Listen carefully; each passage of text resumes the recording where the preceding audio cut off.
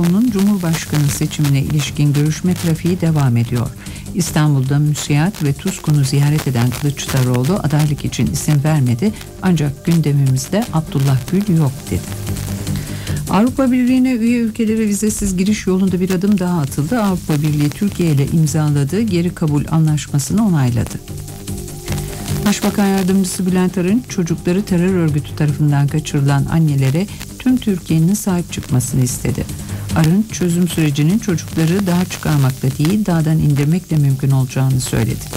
Bilim, sanayi ve teknoloji ışıkta HDP'nin bu konuda tam bir samimiyet sınavıyla olduğunu söyledi.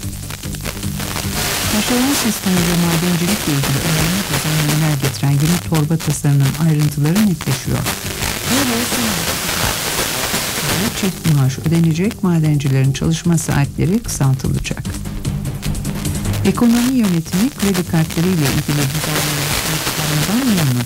Başbakan Yardımcısı Ali Babacan yılbaşından bu yana kart borçlarının 9 milyar lira geriye Türkiye bilgi ve iletişim teknolojileri alanında öncü rol almayı hedefliyor. Denizcilik ve Haberleşme Bakanı Lütfü Elvan, 2023 yılında bölge ülkeleri için biber kesişim olmasını amaçladıklarını söyledi. Somali'deki silahlı saldırıda hayatını kaybeden Türk Hava Yolları Güvenlik Şefi Saadettin Doğan İstanbul'da toprağa verildi. Eski SAP komandosu Doğan için askeri tören düzenlendi. Tokat'ın Erbaa ilçesiyle Muğla'nın Fethiye ilçesinde 92 kaçak göçmen yakalandı. Ukrayna'nın doğusundaki çatışmalar Donetsk'te kesilmesine rağmen diğer kentlerde son hızıyla sürüyor. Donetsk'in 350 kilometre batısındaki Dnepropetrovsk kenti yakınlarında Ukrayna birlikleri Rusya yanlılarının bulunduğu iki kamyonu otomatik silahlarla taradı. 20'den fazla kişinin öldüğü iddia ediliyor.